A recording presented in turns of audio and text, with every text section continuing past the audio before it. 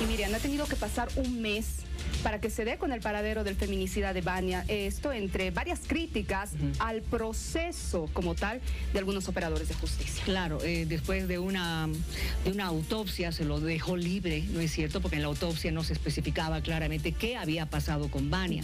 Pero bueno, fugó este joven. Así es. Y la policía hizo un trabajo arduo para poder encontrarlo. Y es por eso que los familiares también se acercaron al investigador principal para agradecerle. Veamos este momento muy emotivo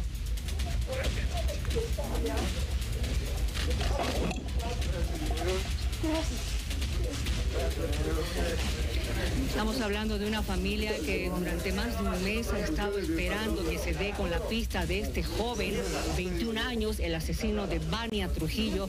Qué difícil ha sido dar con su paradero, Qué difícil, porque incluso se tuvo que arrestar a su padre. Así es. El jefe de la división de homicidio, René Tambo, es la persona que usted ve con la gorra.